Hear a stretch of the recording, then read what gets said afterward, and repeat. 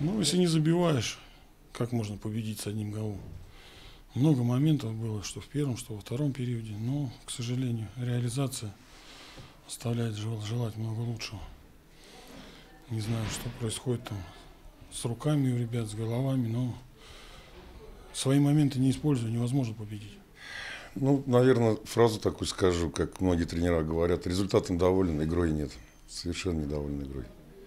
Очень много ошибок, причем ошибок, знаете, люди совершают, которые в этой лиге уже поиграли, там, год-два. В общем-то, но есть что, есть что раз- разбирать, есть над чем работать, но результатом доволен.